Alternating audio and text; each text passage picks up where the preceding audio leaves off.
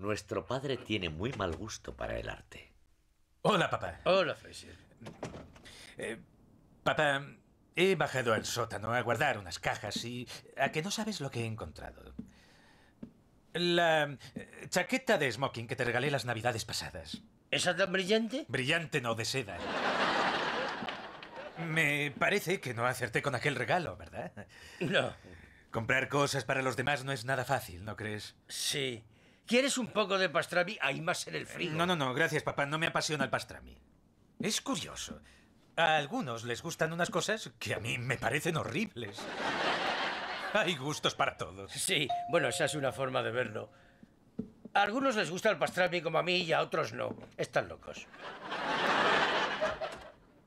Em, buenas tardes. Hola, Niles. Hola, Papá, Niles. Frazier, vengo a recoger el bol del ponche para mi fiesta, aunque quizás me baste con un bol de sopa. Ah,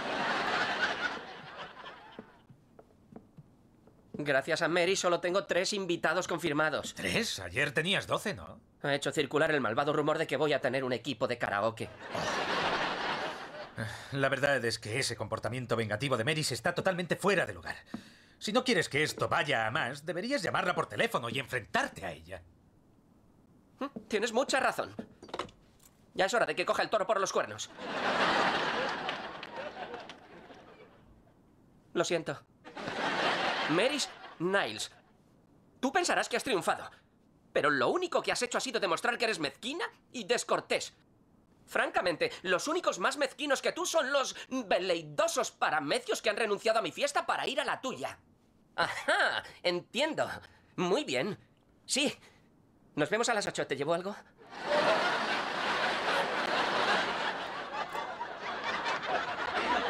Si no llevases la camisa almidonada, ahora no te sostendrías en pie.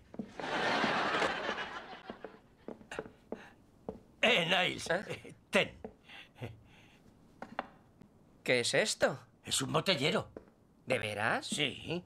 Me sentía mal por haberle regalado algo a Fraser y a ti nada. Y vi esto en rompeprecios. Bueno, gracias por el detalle, papá, pero la verdad es que no le va a la decoración de mi apartamento. oh. Ah, bien. Bueno, no pasa nada. Lo devolveré. ¿Os apetece una cerveza? No, gracias, papá. No, gracias. Frazier, ya no me hace falta tu bol del ponche, pero ¿me prestas tu secador de pelo? Claro. ¿Para qué? Sven ya ha terminado la escultura de hielo de Meris y a ella le parece que ha quedado un poco hippie.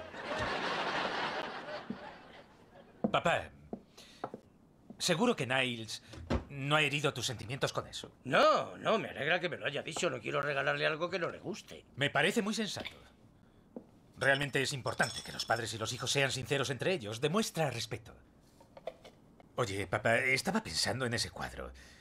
El arte es algo muy personal. Lo que a una persona le gusta puede no gustarle a otra. Eso no significa eh, que uno esté en lo cierto y el otro no. ¿Me dices que no te gusta el cuadro? Bueno, no es que no me guste, solo es que no me apasiona. No me va. No te preocupes.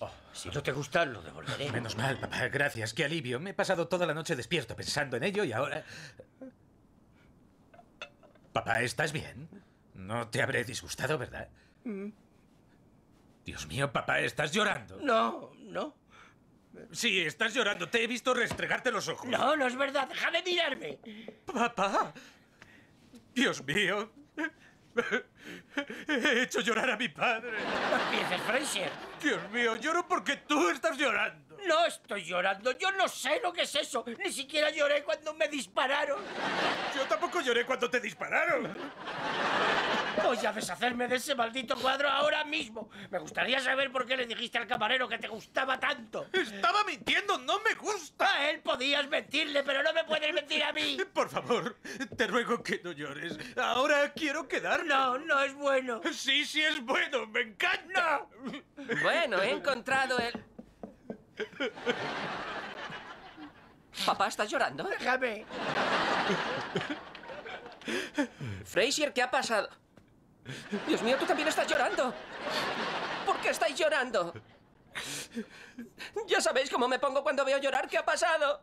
He hecho llorar a nuestro padre. No estoy llorando. Pues yo sí. Soy el hijo más ingrato que existe. Soy incapaz de hacer nada por mis hijos. Nadie quiere venir a mi fiesta.